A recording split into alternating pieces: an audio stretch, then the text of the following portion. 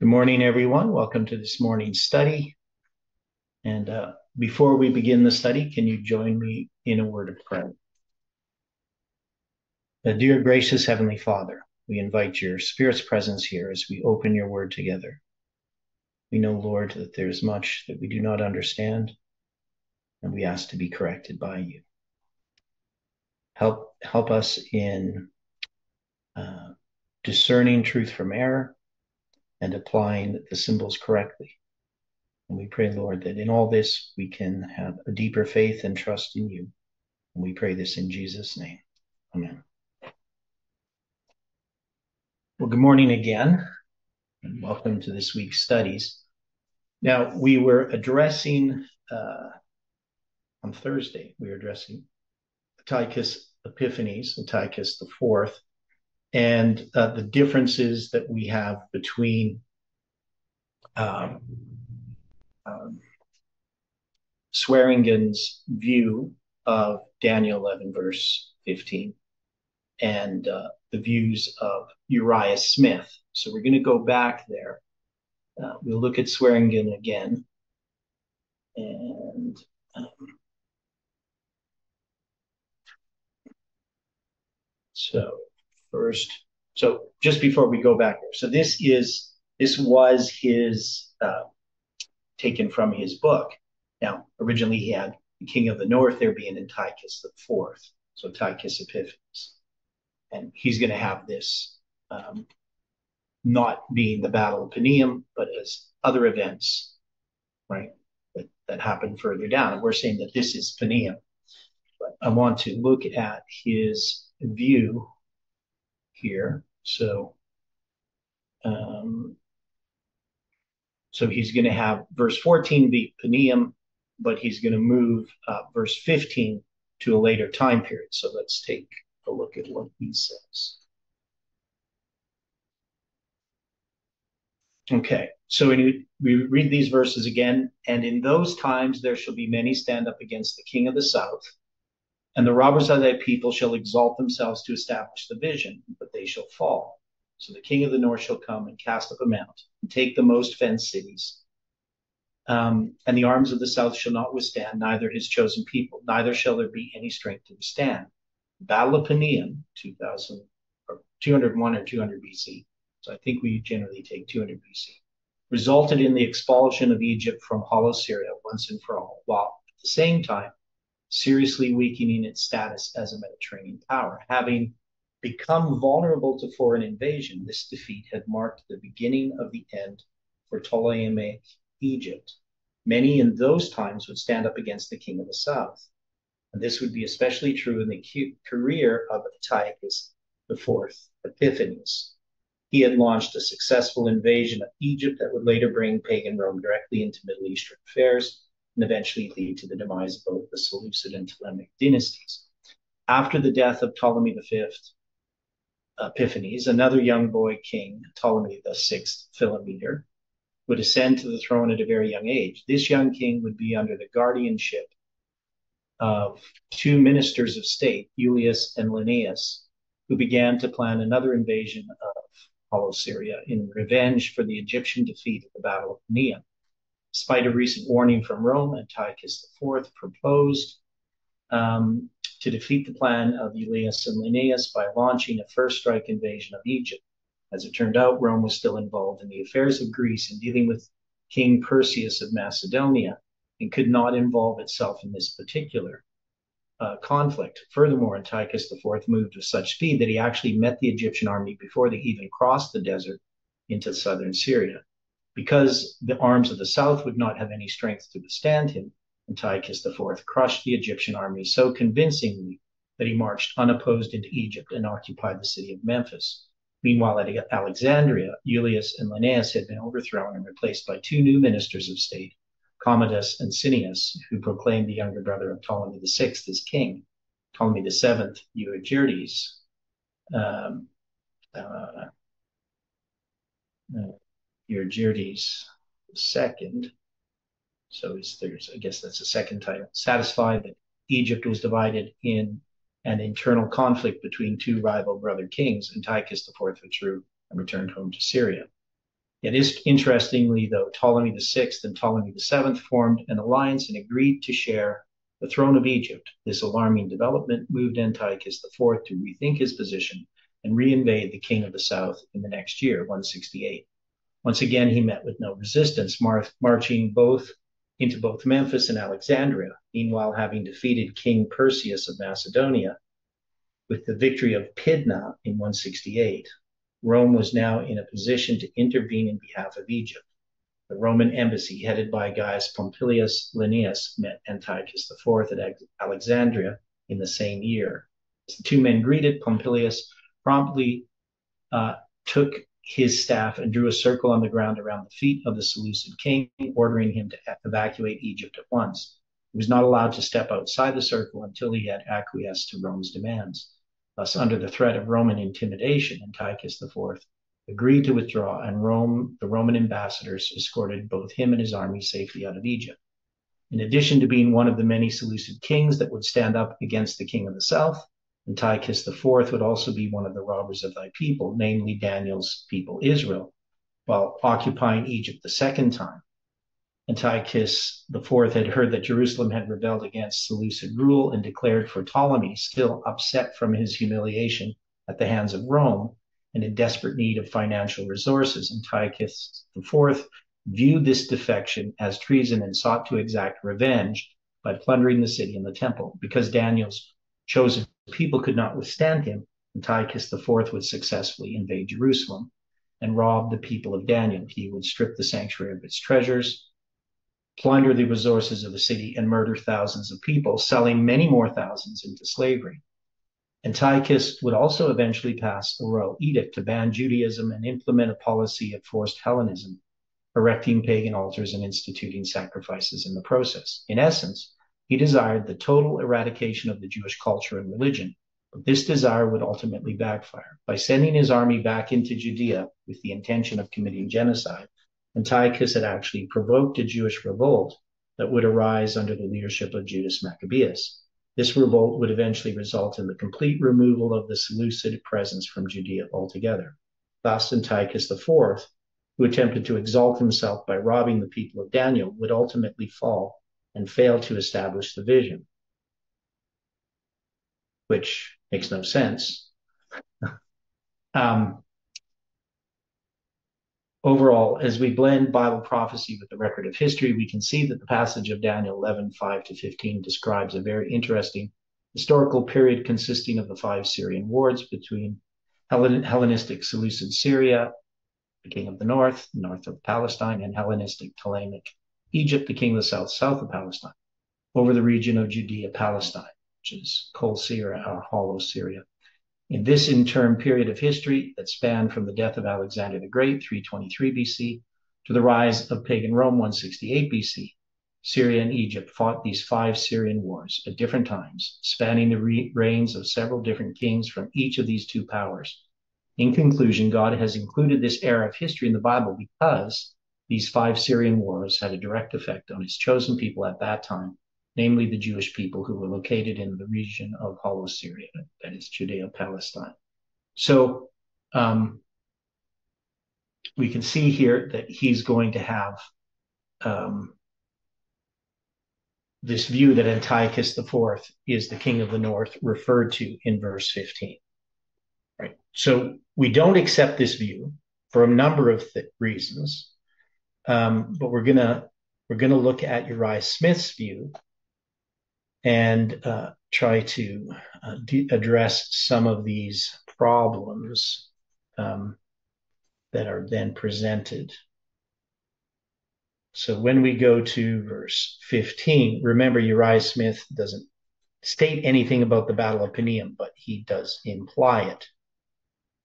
Um, so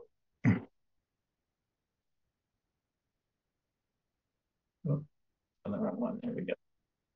So the king of the north shall come, cast up a mount, and take the most fenced cities. And the arms of the south shall not be not withstand, neither his chosen people, neither shall there be any strength to withstand. The education of the young king of Egypt was entrusted to the Roman Senate by the Roman Senate to Aemilius Lepidus, who appointed Aristomenes, an old and experienced minister of that court, to be his guardian. His first act was to provide against the threatened invasion of two confederated kings, Philip, king of Macedon, and Antiochus uh, III, the king of, of Syria. To this end, he dispatched Scopas, a famous general of Aetolia, then in the service of the Egyptians, into his native country to raise reinforcements for the army.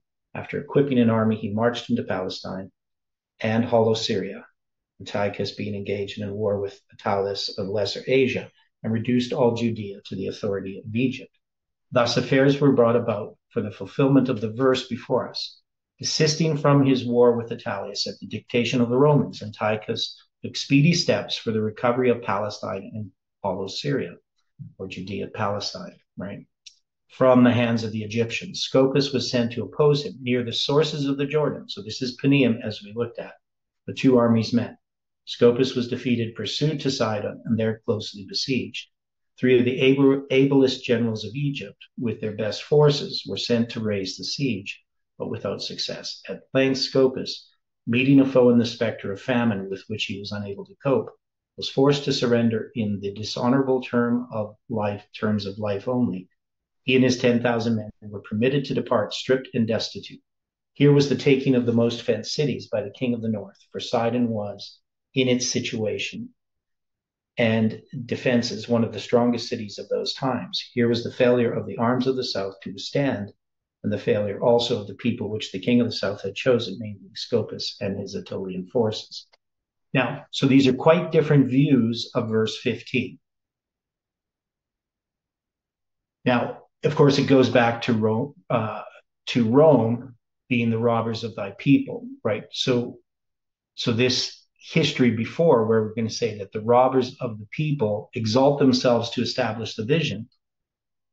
Now, in uh, Swearingen's view, that they fail to establish the vision, which doesn't make any sense because we understand this vision is the chazon, right? This is the the 2520, the two desolating powers, paganism and papalism, right? So he wouldn't, you know, if he's exalting himself to establish the vision, I mean, and he fails in it, well, then he didn't establish the vision. Right. So it's it's kind of confusing what Swearingen has done. Now, the reason we address these things is we're we're interested in establishing things solidly. Right? So we need to look at other views and, and since we're using Swearingen's uh, outline of Daniel 11, uh, placing in the historical application, we definitely need to address this. So we can address first that the robbers of thy people must be Rome, and that the explanation given by Uriah Smith is sufficient to see this. The Romans, more than any other people, are the subject of Daniel's prophecy. Their first inference Interference in the affairs of these kingdoms is here referred to as being the establishment or demonstration of the truth of the vision which predicted the existence of such a power. But they shall fall is referred by some of those mentioned to the first part of the verse, who should stand up against the king of the south, other to the robbers of Daniel's people. So the idea that Swearingen has is he they exalt themselves to establish the vision, but they fail to do so but they shall fall or fail. Well, that doesn't really make any sense if this is Antiochus the fourth, being the robbers of thy people. Because if he fails to establish the vision, then he didn't establish the vision. And he's not going to exalt himself to establish the vision as if he understands what the vision is.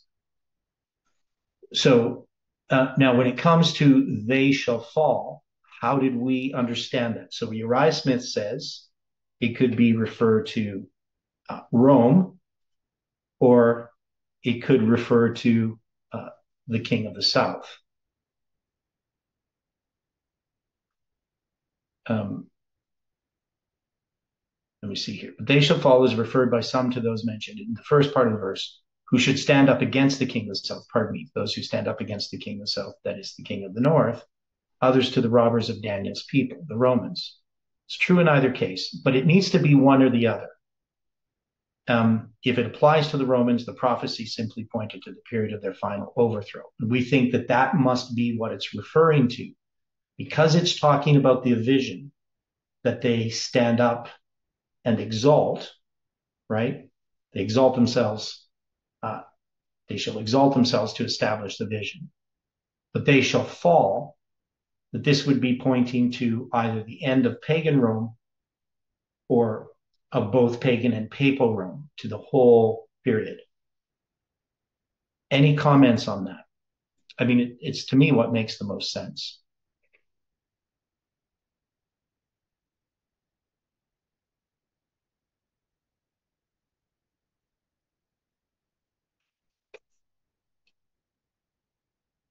So if we look at this, we know that verse 13 is talking about the Battle of Panium, right? So the king of the north shall return, shall set forth a multitude greater than the former, and shall certainly come after many years with a great army and much riches. Why many years when it says certain years? Certain years, pardon me. Yeah, after certain years with great army and much rich, riches. And we took this term certain years um, because we have the the Hebrew numbers. Of course, you know, most people would never do what we're doing here.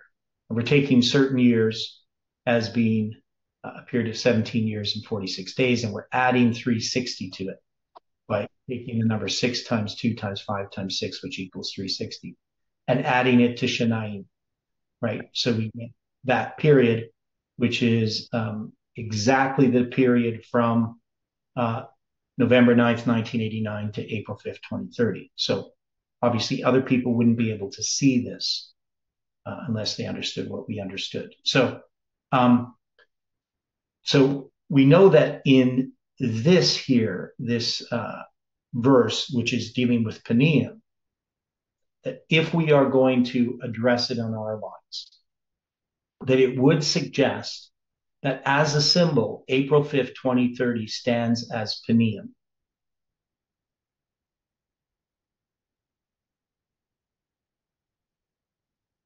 But that makes sense.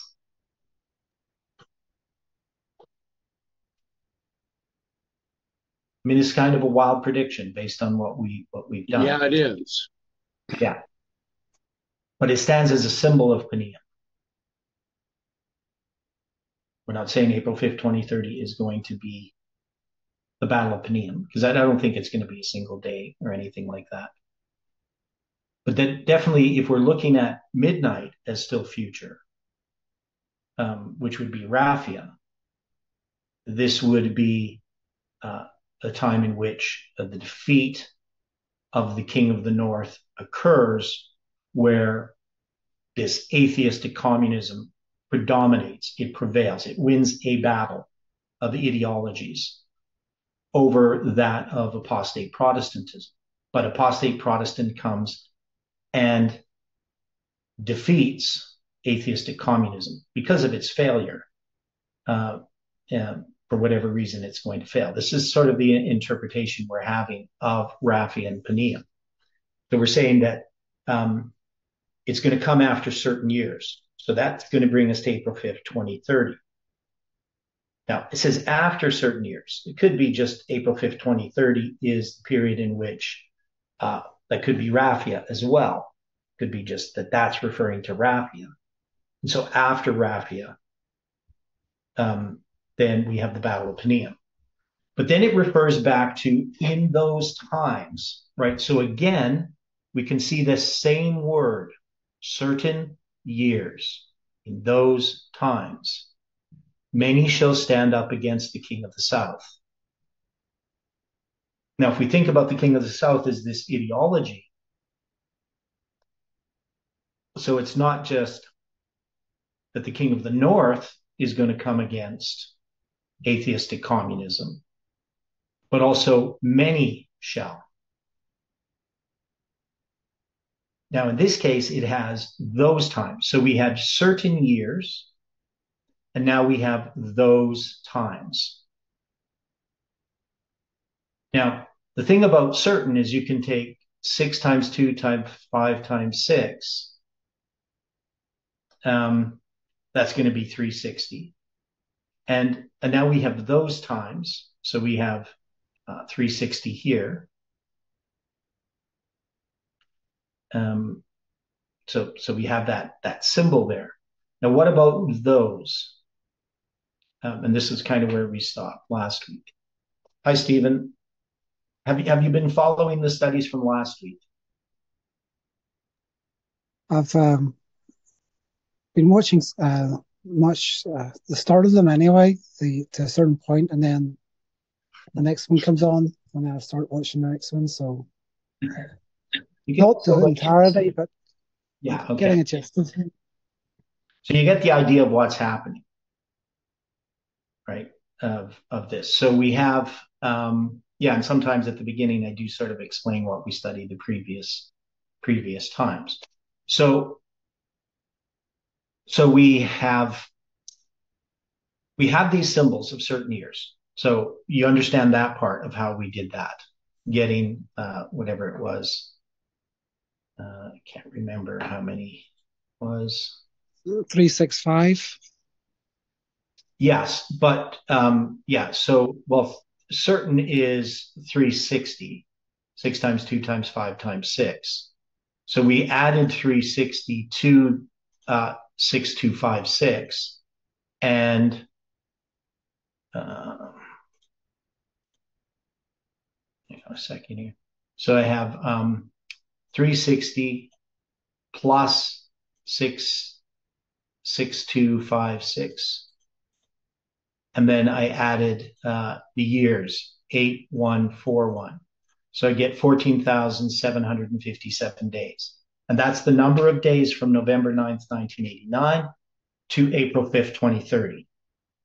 So I'm saying that after that, this where it says after certain years, certain years gives us that line that we've established at least now for almost two years of April 5th, 2030, going from November 9th, 1989. So the fact that those two Hebrew numbers yield that, I think is significant. And then it says, in those times. Now, um, these, those, whatever you want the Hebrew to say there, uh, it's referring specifically to this times, to this certain, because literally it would be, and he shall certainly come after times, years, right? Or years of times, something like that right? With a great army and much riches. So this is the start of the battle of Panium. And then it's going to say, in those times, there shall many stand up against the king of the south, right? So this, this is talking about the battle of Panium. Also the robbers of thy people. So this is referring now to Rome. And if we're applying this to our line, this would have to be where the papacy comes in and exalts themselves to establish the vision. Now, of course, the papacy ultimately will fall both historically and in the future. So this would be talking about the time of the threefold union. So it's using the phrase those times. Now, um, if I was going to add these together, so the 6256 um, with this other, it would be a period of 8248 days, right? So that's going to be um, a period of 22 years and uh, I can't remember 22 years and 212 days. So I don't know what that means. And, and trying to place that somewhere, I've, I've looked at trying to place it where it would be placed. Um, I don't have a definite place. Um, if I put it in um, trying to remember what I did.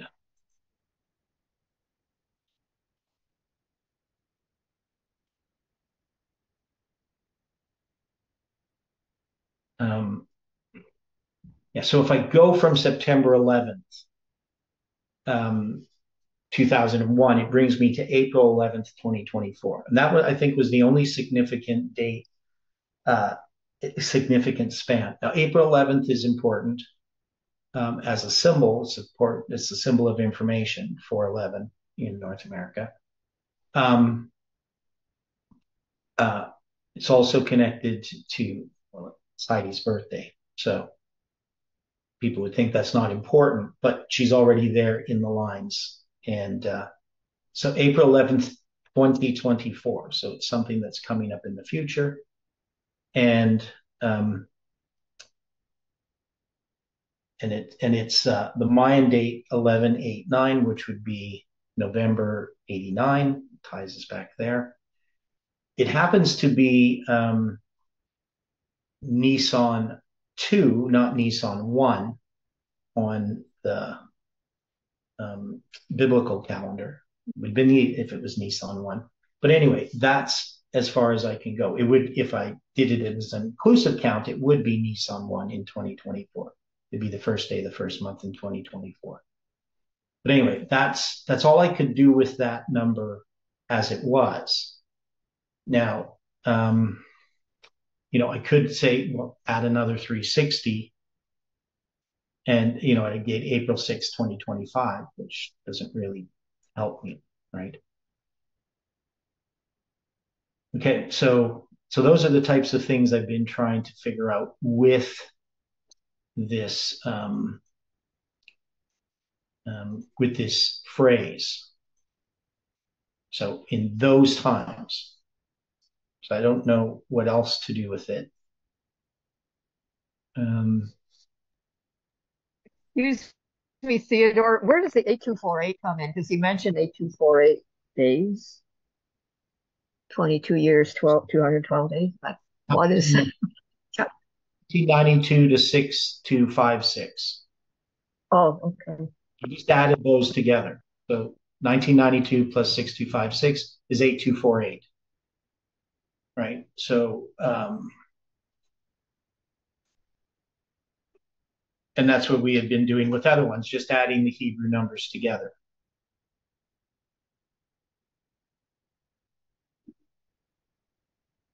Okay.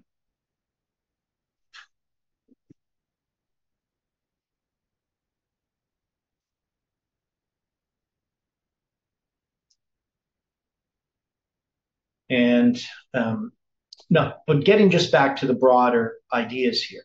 If we take this as referring to what happened historically, we can see we can see that what happened with Rome exalting itself uh, to establish the vision. Uh, this is going to be their interference in what is happening with the dividing up of to, to Ptolemaic um, uh,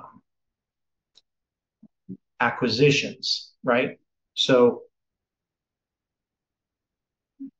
but we know Rome says you you can't you can't conquer Egypt, right? You you can divide those things, but we're we're going to protect Egypt, right? And and we can see why Rome would do this. Rome is worried about uh, the Seleucid Empire basically becoming too powerful.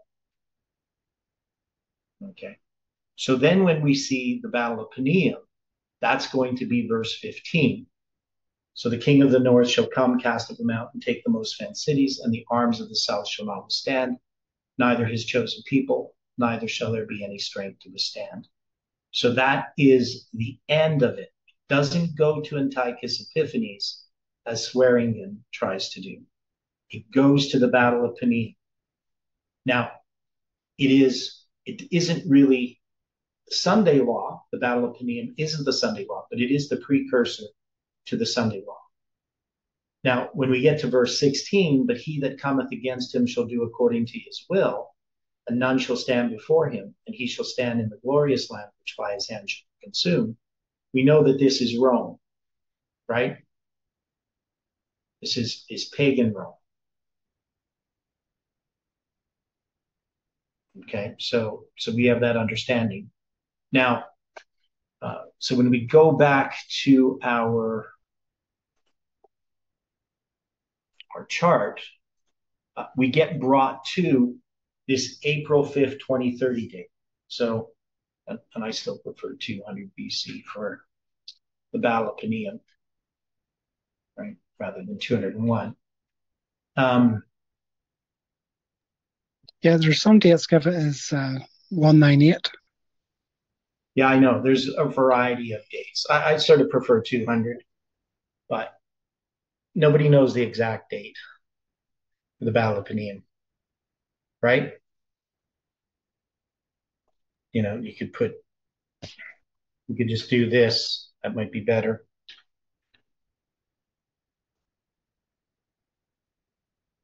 Circa 200 BC. That means about. We just don't know when that battle was. Um,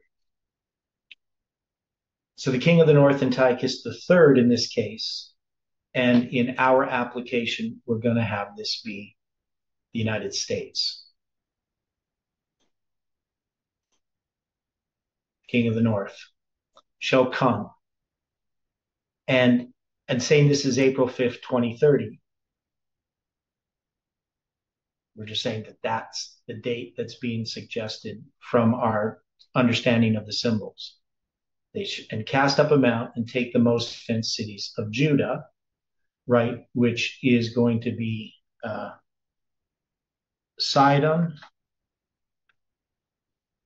um, and I think that's what it is. What we understand from Uriah Smith. Um, but this is going to be the Battle of Panium. So in the arms of the south, the Egyptian army under Ptolemy V. So trying to understand what this symbol is, the most fenced cities, the arms of the south. Um, we're going to have to figure that out. Um, notwithstand, lose the Battle of Panium.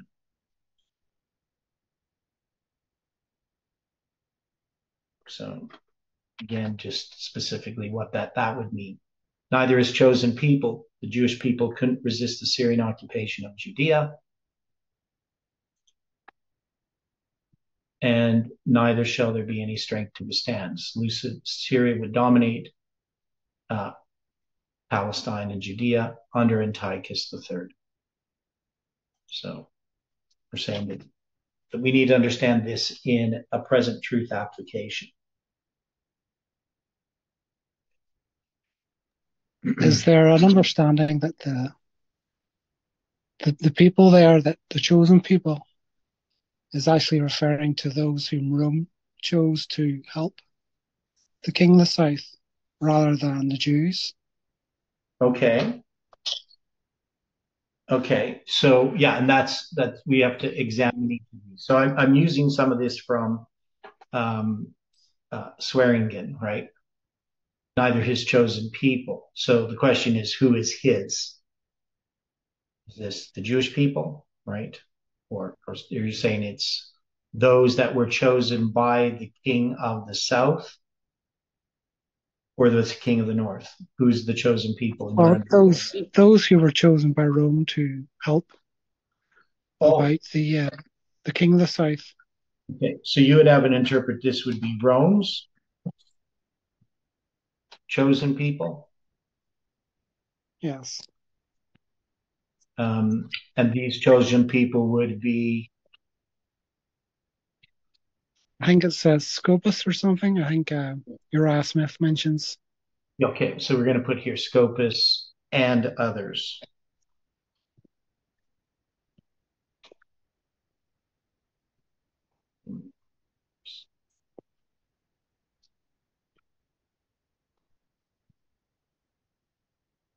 Oh, Is that how you do that abbreviation? Um,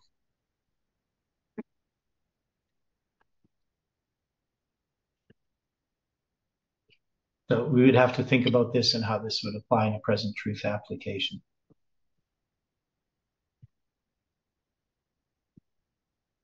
Um,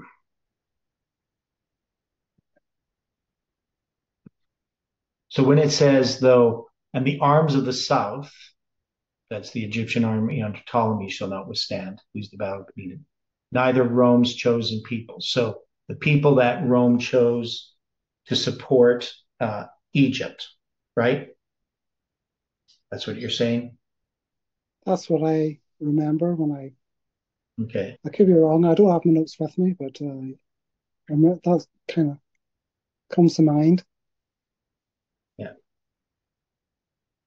Yeah. So, well, this this fits in, but you know, we still have to examine it. You know, everything's still on the table as far as trying to understand what this is referring to, both in the historic application and in the present truth application.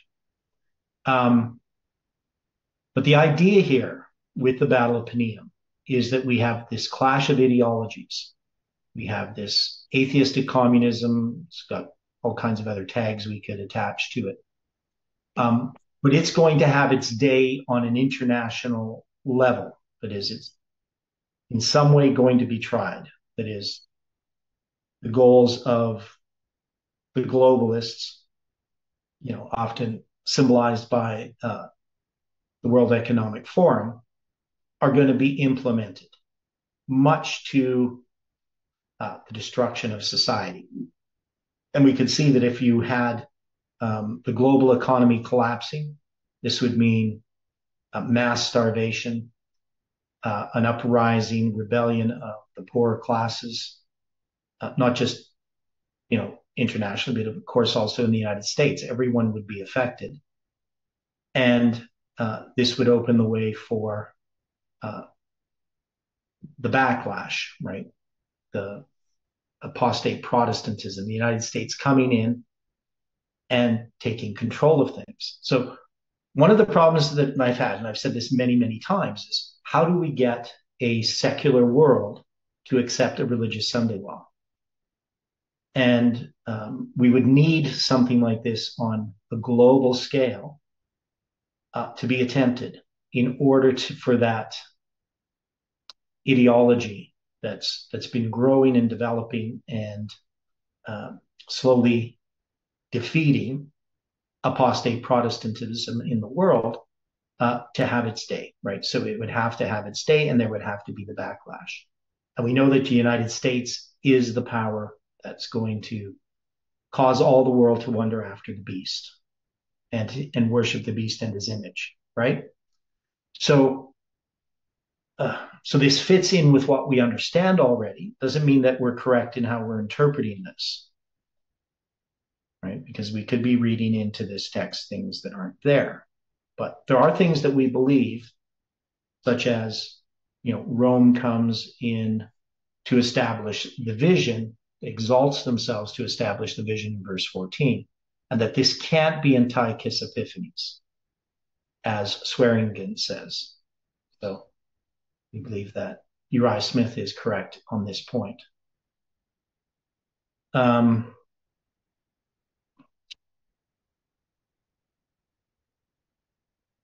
so it doesn't bring us to 168 BC, as Swearingen tries to do. He tries to bring us to that history.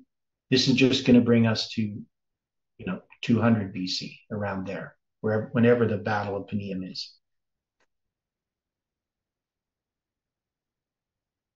Any other thoughts of what we've talked about so far and how we can address this?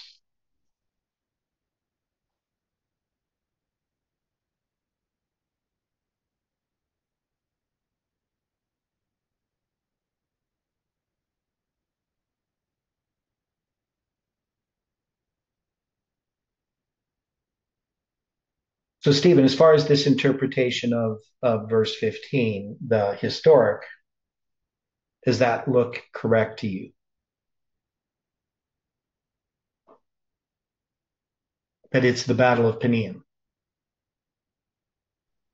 that's being referred to. Yes, I think it's more like the the after, aftermath of the battle because you have the battle in, in Panium and then they're going to uh, the King of the South forces are then going to flee in a sense from that battle and go to Sidon, and then they're going to be right um, see, besieged there. So you have sort of yeah, it is connected to Panium. Yeah. That's my understanding. Yeah. Okay. Yeah. So, and I never saw that before. Um, you know, I just sort of looked at the Battle of Panium as being uh, uh, verse 14, right? Or verse 13, actually as being the Battle of Panium, because that's, you know, we put the Battle of Panium there That's how we had always looked at it before. Um, so yeah, so uh, they have the Battle of Panium 201 to 200 BC, driving Egypt out of Judea, Palestine once and for all, right? So that's the midnight cry.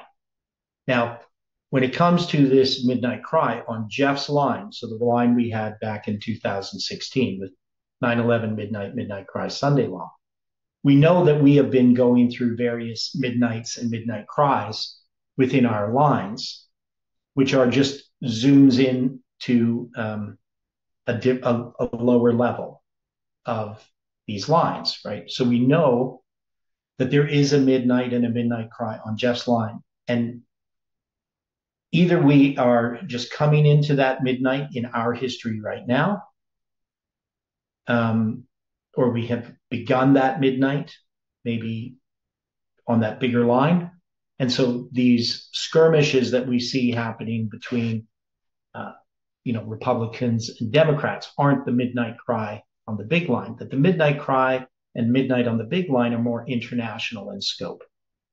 So that what's happening within the United States presently, uh, with Trump and Biden and all those different things, they are a Raphi and Panium in type, but they aren't Raphi and Panium. But it still might it might still might represent that. So there is a way in which the Republicans can come back and win, um, and that would be a type of Panium uh, in our lines, but it would not be the Panium on Jeff's line. And so this has been a real problem with this movement when we start to address uh, our line, if we don't understand fully that what we're seeing now is not on Jeff's big line that he had before, then we're expecting the Sunday law to come immediately. And you know, the idea that the Sunday law is still that there are things that have to occur before the Sunday law. Definitely, we don't see what's supposed to happen between Raphi and Panium happening now right? We don't have the joining of the two sticks. Um, you know, we don't, we haven't given the message to the Levites. Um, there's just so many things that aren't happening that we would need to have happen to say that midnight, that we're between midnight and the midnight cry.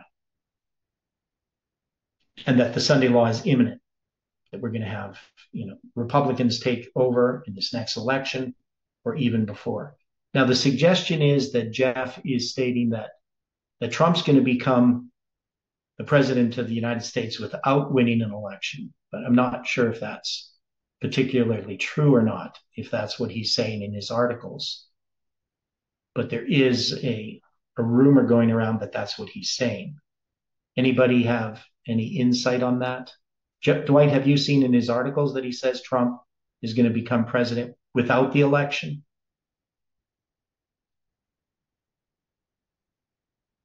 If you're there, Dwight. Dwight not, might not be there.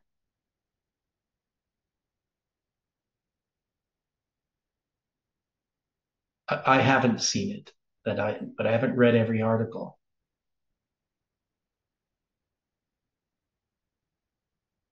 So, so there. Anyway, there's this rumor going around that Jeff is supporting the idea that Trump's going to become president. He he does mention where he talks about the um the um the twenty the twenty four twenty the the um, president that received the deadly wound will be healed in 2024. But okay.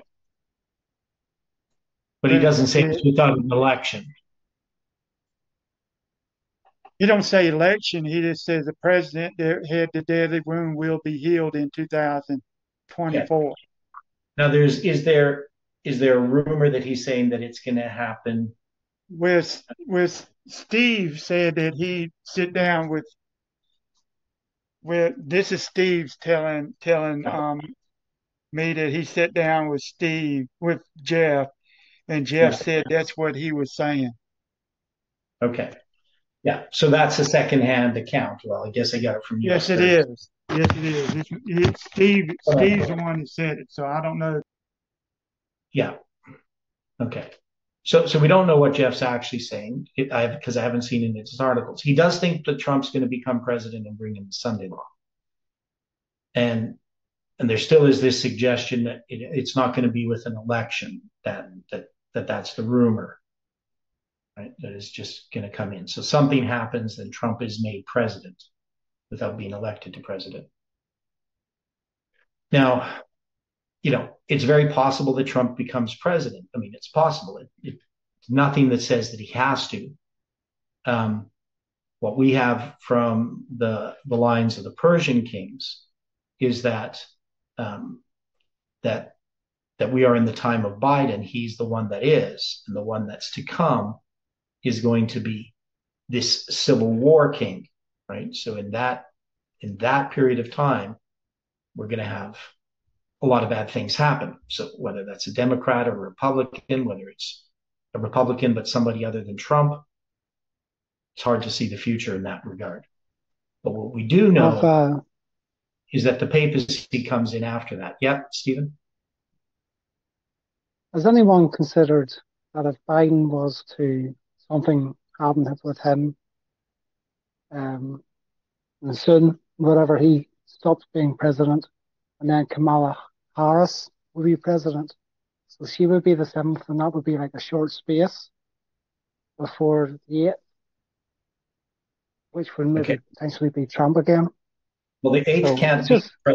The eighth can't be a president of the United States. The Bible plainly tells us the eighth is the beast that was and is not even he is the eighth, right? Mm-hmm. So, so whoever the eighth is, um, you know, whoever the president is after the seventh, because I'm not saying that there isn't going to be another president, because what we have done is we've we've said that those seven kings of Persia, the first seven kings of Persia, and the last seven kings of Judah, all are being uh, typifications of what's happening with these seven kings. And those seven kings are not the seven heads or the seven mountains. Those are the seven kings of, of Persia, right? The two horned beast that arises from the earth, the United States. So there's other kings of Persia that exist after the seven king, first seven kings of Persia. So we're just saying that that those seven kings there are to be understood in our history leading up to these events of the Sunday law, you know, Panium and all those things, right? So, yeah. So if if I mean if you have Kamala Harris become the seventh, I mean I don't know if that's that's going to happen. I don't think that the the Democrats would do that. They would just wait until, you know, just have Biden retire. There would be no reason to to pull him out of office unless he dies. Um, then you'd have to put somebody else in place. But um, you know, even if he dies, they could still have him as a puppet. You know, just uh, you know, do some uh, AI videos of him reading speeches. Um, you know, they might not want Kamala Harris to become president.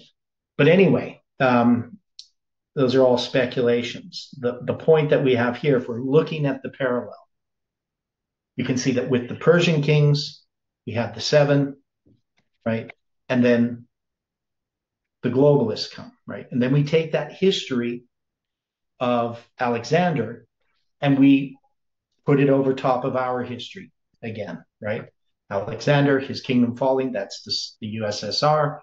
And then we have um, these battles between the North and the South, between these two ideologies going on. And it, and it works its way to become uh, not just something within the United States fighting against atheistic communism. It becomes that the world embraces this king of the South ideology and then the king of the north ideology defeats it ultimately, which is going to lead to the Sunday law. And so all it would have to do to have these seven kings, if we're going to put them in here, is um, to have these presidents that lead up to that history. So that'd be the history of, you know, the image of the beast being formed. Doesn't mean there wouldn't be other presidents. They just wouldn't be significant in placing them as, as kings or presidents of the United States, dealing with Revelation 17. So, so I understand what you're saying. Like we have lots of different scenarios of how things might unfold, but it doesn't really matter. It doesn't really matter who becomes king, who becomes president. Um, what what's important is that we're in the now is the one that is, and that is in the time of Biden.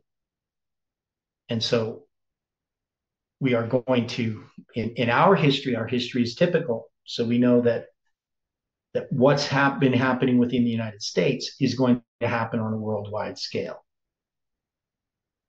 And so it's very possible that the agenda of the WEF will be implemented on an international scale.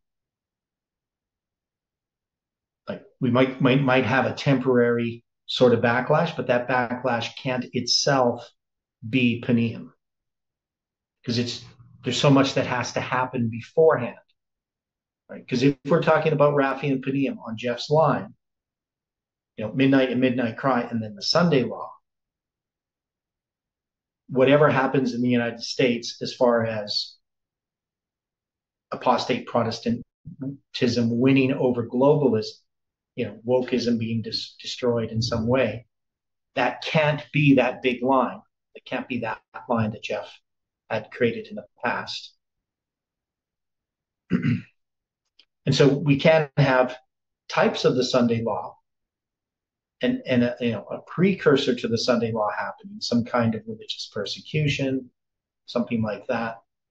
But the actual Sunday law in the United States has to come at the time of the Sunday law, after Rafi and Panium. And we're not even to Rafi yet maybe just on on the verge of it, just on the border of it. And to say, well, they're going to happen just really quickly. Well, there is still the logistics of the fact that we have to get a me- message to Seventh day Adventists, and we don't even really have a message to give them. And we're in a movement that's in a disarray, unless we're arguing that our movement has nothing to do with Bible prophecy. So Dwight, are you there yet? I'm here. Okay. Were you here when I asked the question to you before? No. Okay. I don't remember what the question was. Um, uh, but you know, it has it has to do with the idea that um, you know, obviously we can't have Antiochus Epiphanes in verse 15. This has to right. be the back. And um, we do have that date, April 5th, 2030, coming from uh, certain years, right? So after certain years, that, that definitely fits in there. And, and I'm not really sure yet how to uh, fit the phrase um, dealing with um, in those times, right? So I still have to think about that. But that does bring us to, you know, the Jewish New Year in in 2024. Right. Uh, so, but I don't know if that's significant or if there's some other place to place this. So we we just we still have to wait on that. But but there is a symbol there. So we know that the word times and the word certain are the same word, six two six two five six. And um, we know that there's these ideologies. So the idea that this is bigger than what we're going through right now with Rafi and Panium, I think we have to take that position. I don't think we can take the position that the actual Raphia on Jeff's line from 2016, where you got 9-11, midnight, midnight cry Sunday law. the actual Raphia is, you know, January 6, 2021, or even January 20th, 2021. You can't you can't put that there. Um, also, you know, since we can't put that there, we can't say that Panium is going to be this election coming up. because none of the stuff that's supposed to happen is happening as far as what, what this movement is supposed to be doing. It's work. But we can say that those things are typifying what's going to come. And we keep running into this April 5th, 2030 date. So to me, when I when I took certain years and I did that calculation, right, by adding the two together and adding the 360 from the word certain, um, and I find that it, it goes from uh, November 9th, 1989 to April 5th, 2030, this date we already have. I would have to say that that moves Midnight in the Midnight Cry to that history, not, not necessarily to that date as a specific date, but it just moves it to this reapplication of time that we're, we're moved to a further date, not to our present history, right? Whatever that date is, whenever it's going to happen, it, it can't be this present history. This present time that we're in, the events that we are in, cannot be Rafi and Panium on that line. That's that's all it's telling me.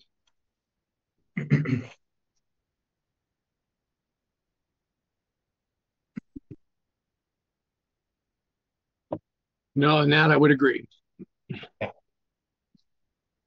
Now, and remember also, we have 9 11 and April 5th, 2030 connected with the 354 months, the 354 days from the book of Ezra, right? Correct. 457 BC. We already have attached it to that. So if we, we take the months and we start the month in which 9 11 occurs, you know, we have that attached to 2030. And, um, but we also know that if we can take 9 11, we can match it with both November 9ths, right? So we can match it with the arrival of the first message on uh, November 9th, 1989. And we can attach it to the November 9th, 2019 date in that it's the arrival of the second angel's message. So those two dates go together, or all three dates go together. And we saw in your studies in the summer dealing with 191 BC.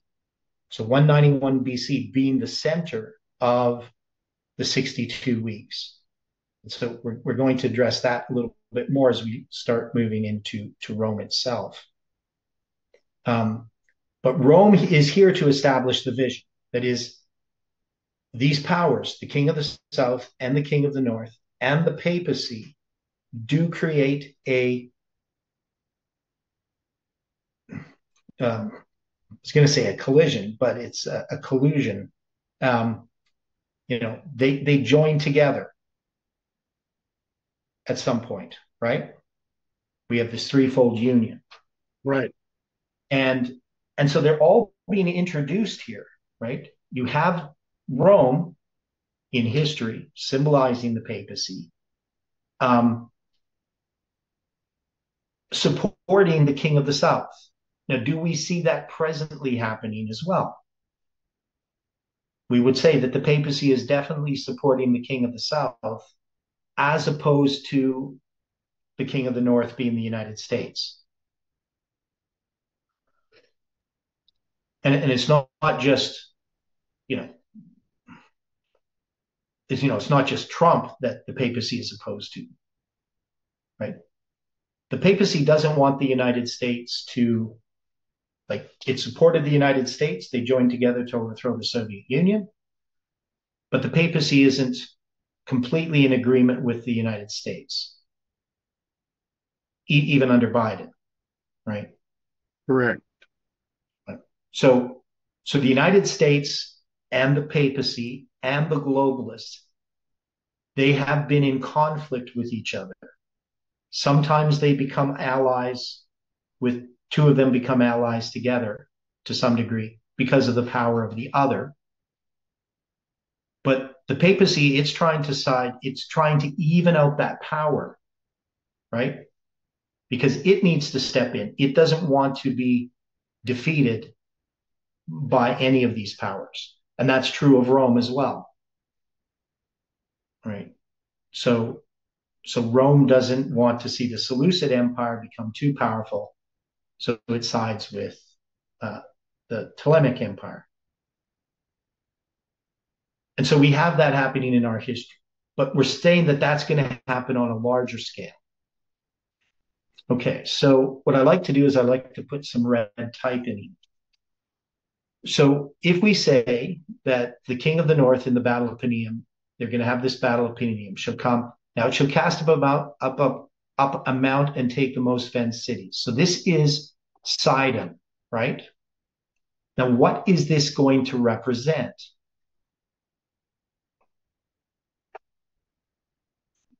You know, so Uriah Smith is going to say that this is, you know, so after this battle of Panium, right? Um, how does he put it here? Um, brought about the fulfillment of the verse, de- desisting from his war with Attalus at the dictation of the Romans, Antiochus took speedy steps to recover from Palestine and Coele-Syria from the hands of the Egyptians. Scopas was sent to oppose him, right? So he's um, this Roman um, dealing with uh, supporting Egypt near the sources of the Jordan, right? The two armies met. So you can have this battle in Panium. That's the sources of the Jordan. Scopas was defeated, pursued to Sidon, and there closely besieged. So he's going to take the most fenced cities, right? So we have the battle, and then we have Sidon. Um, three of the ablest generals of Egypt, with their best forces, were sent to raise the siege, but without success. At the at length, Scopas, meeting a foe in the specter of famine with which he was unable to cope, was forced to surrender on the dishonorable terms of life only. He and his 10,000 men were permitted to depart stripped and destitute. Here was the taking of the most fenced cities by the king of the north. For Sidon was in its situation and defenses one of the strongest cities of those times. Here was the failure of the arms of the south to withstand, and the failure also of the people which the king of the south had chosen, namely Scopas and his Aetolian forces. Um, so, so we have here these these other forces that are chosen uh, to go against the um, uh, the Seleucid Empire, right in the Battle of Panium. So, how do we understand this in its present truth application? Well, why are we not breaking this down just a little bit further. Okay. Okay. You read correctly and cast up a mount and take the most fenced cities. What does mm-hmm. it mean to cast to cast up a mount? Well, that's usually uh, like a rampart to try to take over a city. So it's like uh, to to go over the wall. To take over a city. So the city is under siege. Yeah, yeah. You're casting up a mount. You're you're going to try to besiege it. Yeah. Isn't the Constitution of the United States currently under siege by those that are supportive of Biden? Okay. Um,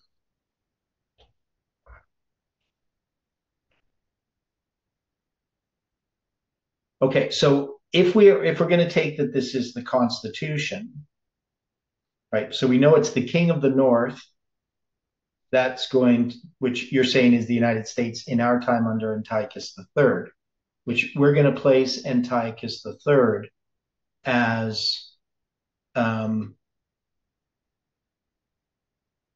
this is dealing with republicanism and Protestantism, right? Correct. So, um, how did we do that? So we had Philip, king of Macedon, and Antiochus III. We didn't actually put in there what they represented. So I don't have, for some reason, I don't have that in red. Um, we did talk about it. So I don't know why. I think I might, might have just not got saved because I was pretty sure we put here um, apostate, Republican,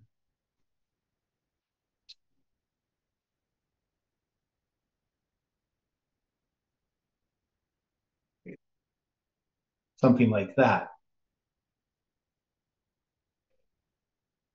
That's what I thought we had.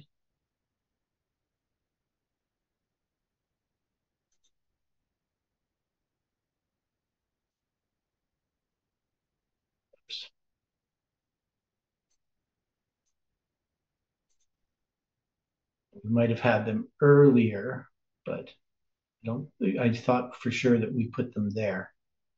Okay, so we're going to have this apostate Protestantism and apostate uh, republicanism, or the other way around. Stand up and make war against the king of the south. So this making war, we we tend to see this as uh, propaganda.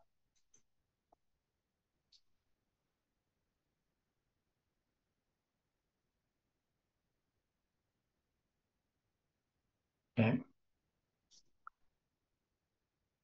So the king of the south here, we usually have Ptolemy the first, fourth, Philopator as being, oh, we just put Biden.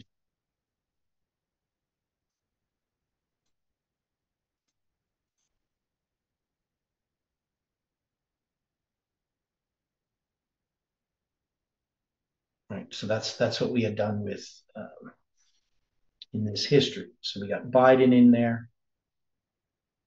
Um, you know, it's the king of the South. You know, we could say it's atheistic communism, but as far as Ptolemy the Fourth, Philopator himself marks Biden. Uh, if I remember correctly, that's how we did it. Um,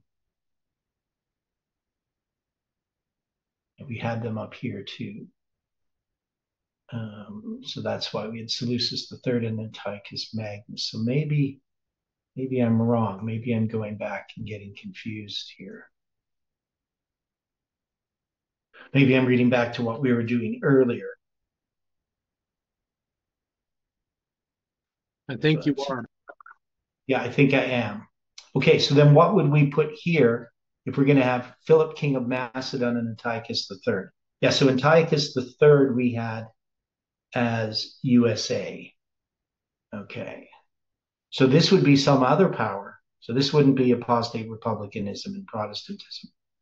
Um, because yeah, I was yeah, I'm, I'm getting mixed up. Okay. I hope you allow me to do that once in a while because I do. Um, yeah. Okay. So yeah. So Antiochus the third. So this is the USA, but somebody else. So who's the somebody else? Who's Philip, king of Macedon, symbolize?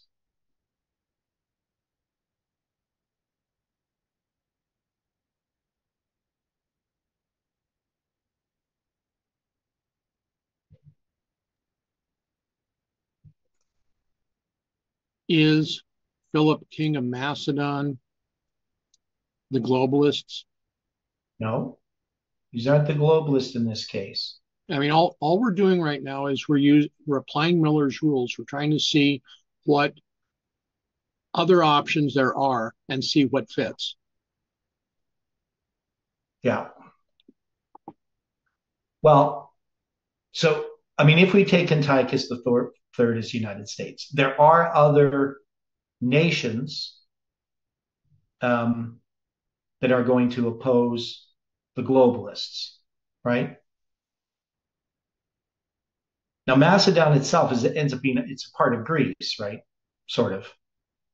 I mean, it's a separate kingdom, but it, it ends up being part part of Greece to some degree. Right. I mean, they're, they're, Greek peoples, but they're not necessarily, uh, um, you know. So they're so in our time.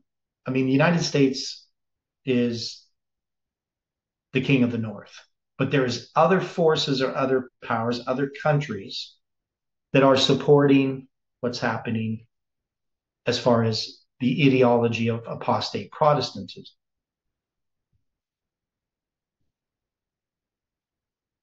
Um,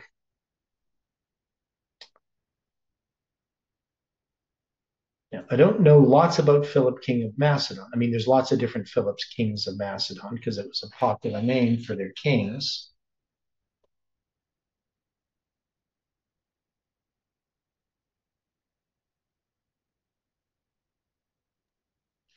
You know, yeah. We would we is the Finch City is it is it the Constitution or not, or is it just an imaginary thing? Well, we have to decide that. We don't know yet because we have to figure out what it's it's referring to. We have to we have to figure out how to to understand this. So the most fenced cities there is in historically is Sidon, right? That's going to be uh, what is going to be under siege. So we have to figure out what that means. Um, but yeah, I, you know, I may not know enough about this. I know when it deals with like Scopas, he's uh, Aetolian. And there's this Aetolian League. Um, and the Ptolemaic Egypt, they go against the Seleucids, right? So, in, you know, in a, in a sense, you can say, well, the Battle of Panium is is the Aetolian League coming against uh, the the King of the North, right? Or the King of the North coming against them, however you want to look at it. But they're going to lose that battle. They lose the Battle of Panium. Um, And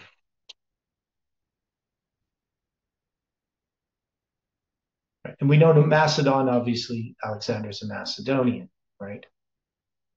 Um, so if you deal with uh, Philip, king of Macedon, and what he's symbolizing, now this would be um,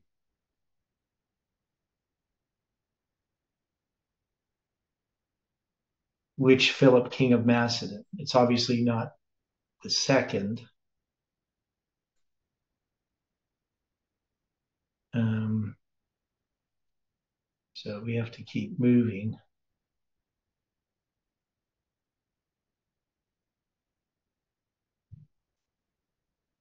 It's going to be lots of different ones, boy.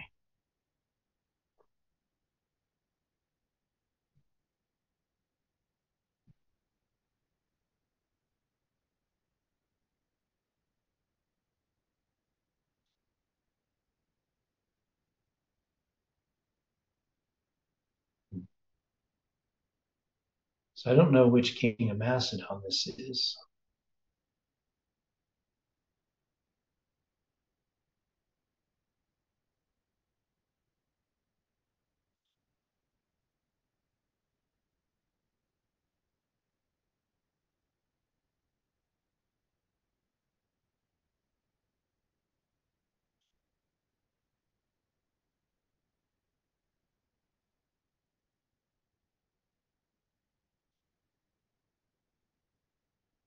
Hmm. Philip the Fifth. So it's Philip the Fifth. Yes.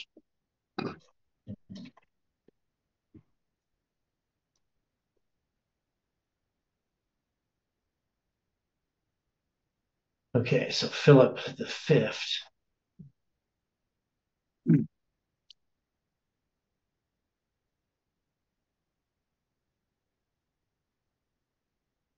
Wikipedia doesn't have a page for it. If you look up, if you if you go to Wikipedia looking for Syrian wars, Yeah. it'll give you an overview of all of them. Okay. And under the Fifth Syrian War, it speaks Yeah. of the death of Ptolemy IV in 204. And then mm-hmm. in the second paragraph, seeking to take advantage of this turmoil, Antiochus III staged a second invasion of Coele-Syria. He convinced Philip V of Macedon to join the war and conquer the Ptolemies' territories in Asia Minor. Actions which led to the Second Macedonian War between Macedon and the Romans. Okay.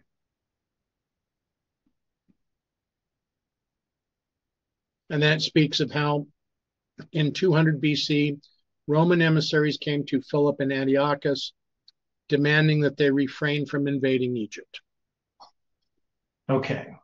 So so that history seems solid solid, right? Our understanding of it. Okay. So we got that correct. Um, so what would he represent then? Philip, king of So you're saying Philip V, king of Macedon. Right. So he has to represent something. But Now, now he's sort of employed by, um, to some degree by Rome, right? no, No, not by Rome. no. So how, how come he comes into play? Why does Antiochus? No, yeah, it wouldn't be Rome. Pardon me, I'm getting backwards. Yeah. So, so, so he just joins with Antiochus because of Rome's involvement with No. Egypt. No, why is he involved? Philip and An- and Antiochus or Antiochus Yeah. are joining together. They're entering a league to go up against the Ptolemies. Okay, Rome comes in as the protector of the Ptolemies. So in this case, Rome was acting as a global policeman. okay. So, so who makes a league league with the apostate Protestants? In this case, what you have is you have Philip and Antiochus making a league. Rome is now seeking to make a league with Egypt. Okay, okay, that makes sense now. So, so who does Philip um, the fifth, king of Macedon, symbolize in our time? That's what we're all trying to figure out right now. I mean, yeah. So there's so many.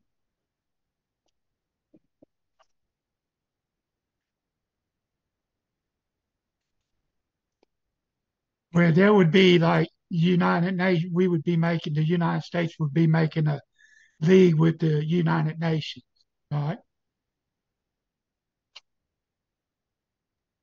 I'd have to consider that. I don't know. Yeah, I don't know. Well, if Rome if Rome is the world police and they trying to make a league with Egypt, Egypt is a symbol of the world. So I mean that's what I was thinking anyway. Maybe my thinking is wrong. I just, uh, you know, so we have to figure out what this this battle is about here. So, I mean, we're saying that this is the Battle of Panium or the aftermath of the Battle of Panium, right? That's that's the idea here. Um, and the robbers of thy people come in and exalt themselves to establish the vision, papacy. Right. And uh, so you have, would it just be the Protestant churches uniting with the United States? Well, that would make that would be logical, but is it going to fit in this case? Because this league between Philip and Antiochus was precipitated by the death of Ptolemy IV. But that death was in 204 BC, and the Fifth Syrian War took place for a period of seven years from 202 to 195. Yeah, so that's where you're going to have the Battle of Panium in that history. Right.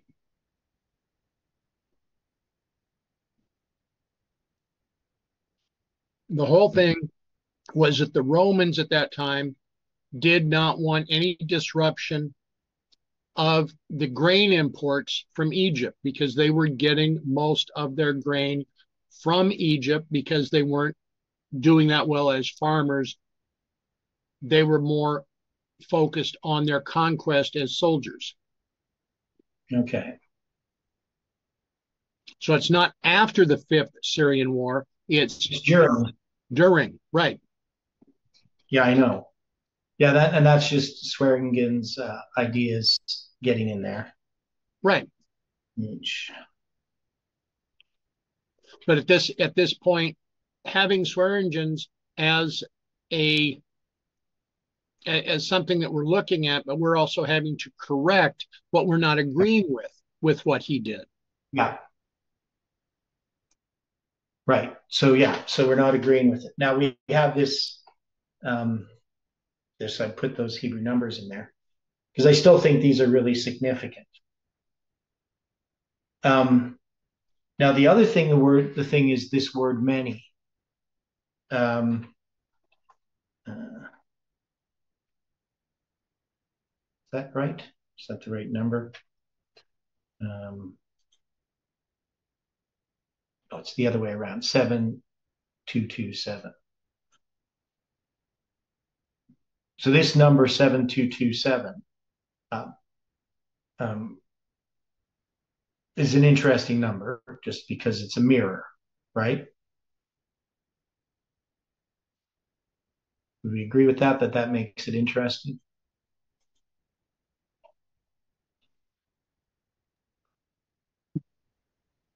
It's a mirror, it's a chiastic structure, it's however we want to see it. Yeah. Yeah. So it's um now, the word means much, many, great, many, abounding in, more numerous than, abundant, great, strong, greater than, much exceeding. Um, it also means captain or chief. It's another definition of it. Um, and it's uh, contracted from 7231. It's Rab, right, is the word itself, and it's from Rabab, right, which means uh, properly to cast together, together that is increase, especially in number. Right. So, so there's something about that word, uh, especially in those times, there shall many stand up against the king of the south. So it's giving us a specific uh, period of time. So, um,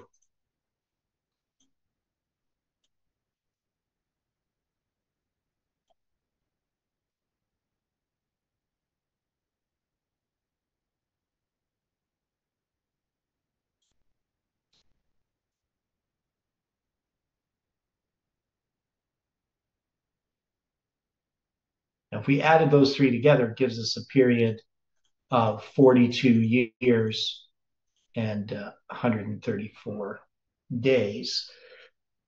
I don't know if there's something there that we would have to consider. Um, you know, 42 years puts us outside of our lines. so it's, uh, you know, 15,475.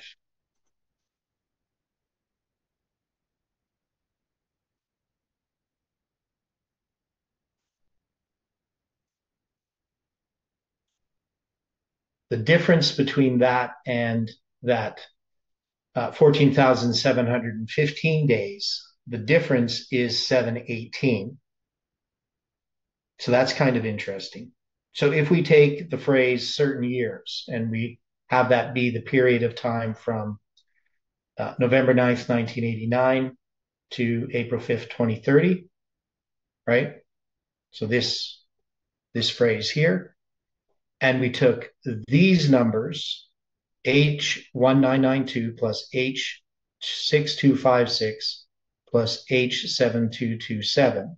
So if we added these together, so I'll do this here. I know our time is almost up. Uh, we started a little bit late though. Um, so I'm just going to add these together. I'll make it as a footnote. So if we have uh, 1992 plus um, 6256 plus 722 or 7227 equals, well, that was a bad typing. Um, uh, one five, uh,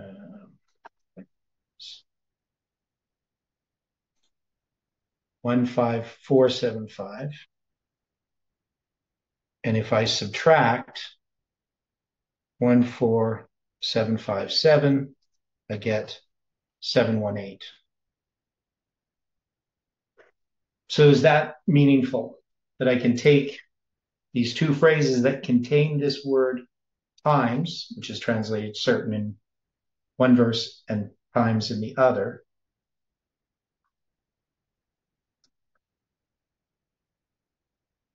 and add those together. So that phrase um, being in those times there shall many, right? So that's that's taking those three words, adding them together, and then subtracting those two numbers and getting July 18. Is that significant or not? It's very interesting. Okay, so so I would think we would we'd have to consider that this this symbol is helping us, right? And and they're not they're not driving the interpretation, but they're helping us sort through some of these things. So we know that these are related to our lives. Right. So we got this July 18th symbol here. Now, you know, if we went that many days past April 5th, 2030, we're going to be getting a couple of years down the line, right?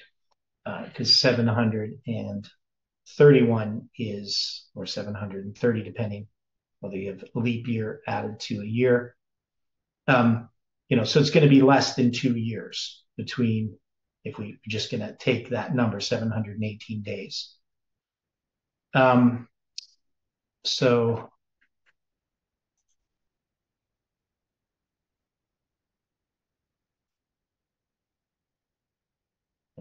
Seven twenty is three sixty, so uh, divided by two is three sixty. So you know it's just less than two prophetic years difference by two days. Um, anyway, so we're going to leave it there for now. We're going to come back to this to try to understand this. But I do think there's significance in these symbols that we have seen other places that we, we just can't ignore this simple calculation.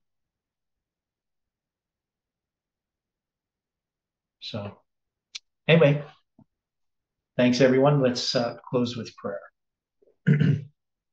Dear Father in heaven, thank you for the time that we've had to study this morning. We pray that you can bring us together again to open your word as we dig for truth.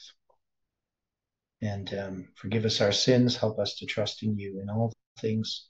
May your angels watch over us. We pray and ask in Jesus' name. Amen.